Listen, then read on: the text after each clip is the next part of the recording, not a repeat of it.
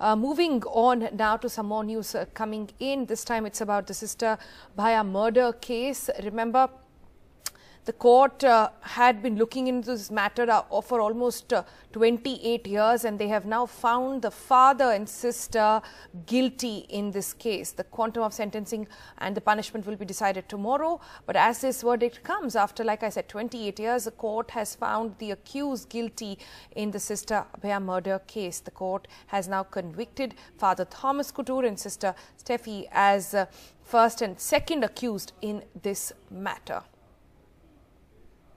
Sneha Koshy joins us live for more on this. Uh, uh, Sneha, it's been a long 28-year-old long battle, really legal battle that has been going on. What more can you tell our viewers about the background on this case and what this uh, actually means?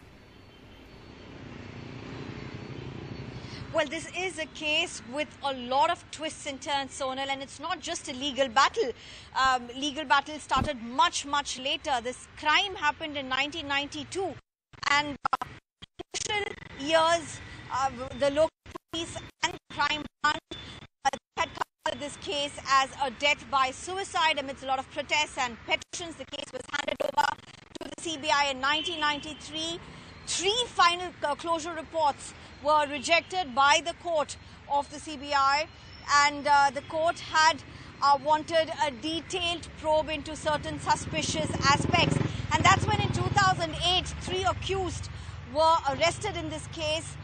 The one accused, uh, two of them have been convicted uh, as the verdict came out today. One of them was acquitted earlier. So who are these convicts? If you look at that, this itself is a story, telling story of power and nexus. Uh, Father Thomas Kottoor, he was a vicar at that time. He was he um, he was the secretary to the then bishop, rose up to be the chancellor of the Catholic diocese in Kottayam.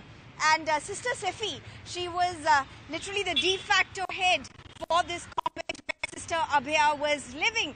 And uh, according to CBI, Sister Abhaya, who had gotten up early that morning to study, and she, as she was leaving her room for the kitchen at 4.45 uh, in the morning, she uh, was testimony or witness to uh, certain uh, suspicious situations inside the hostel involving uh, the priest and the nun.